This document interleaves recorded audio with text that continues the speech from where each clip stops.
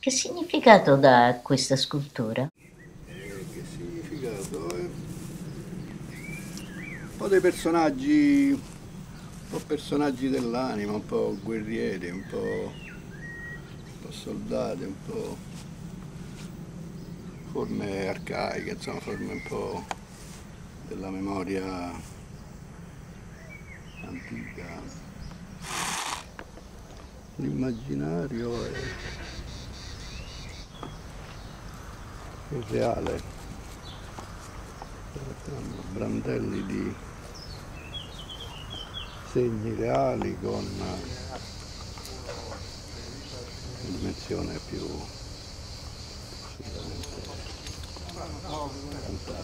immaginaria. Individui che vagano, che, che vanno.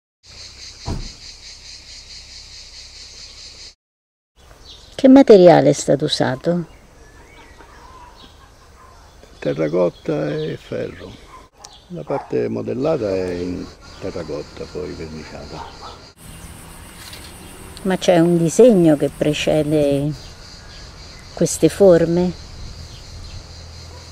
In genere no, in genere no, direttamente alla modellazione. Il personaggio nasce al momento, come posso dire, un po' suggerito dalla, dimensione psicologica del momento, insomma, eh, che poi è sempre un po' collegata al resto dell'umanità, insomma questi personaggi che, che, che, vagano intorno a noi, che, che sono un po' le nostre guide, che sono la nostra dannazione, insomma. E, Ripeto, sono un po' questi personaggi un po' immaginari e anche un po' reali, in qualche modo siamo un po' circondati comunque da, da, da amici, da amici.